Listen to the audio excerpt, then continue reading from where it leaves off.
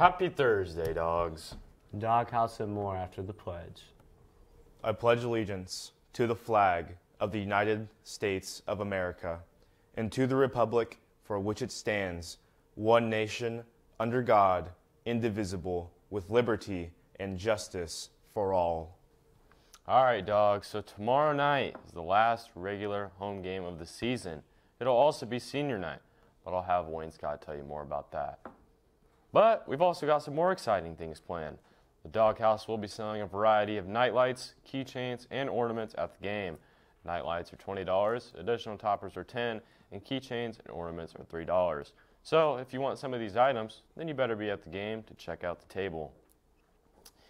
We've got to keep reminding you seniors on the upcoming scholarship deadlines, so listen up. The Frankfort Education Foundation deadline is this upcoming Sunday, the 18th. The Frankfort Scholarship that's on paper is due on Friday, the 23rd.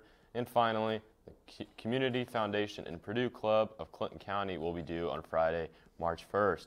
So, seniors, keep those in mind and get your applications in. Now, that'll be all for me. Now I'll send it to Wayne Scott with the abundance of sports today.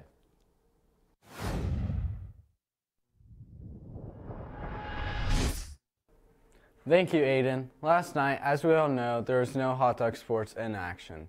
But for tonight, we do have a little action as the boys swim team will be traveling to Lafayette Jeff to compete in sectionals. So, best of luck, boys.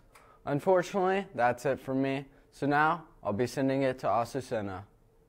Good morning, hot dogs. My name is Asusena, and I will be taking over for Anthony for the next two days. So now for today's weather will be having windy winds with a low of 30 and high of 47 degrees. Please make sure to stay warm. Hot dogs, no back to Kai Cabri. What's up? What's that? Hmm.